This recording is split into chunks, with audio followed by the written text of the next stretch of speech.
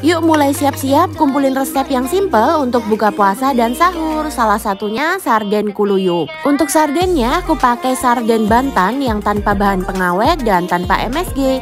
Bahan-bahannya simple aja, kita tinggal tumis minyak goreng, tumis wortel, cabai hijau, timun, bawang bombay dan juga nanas.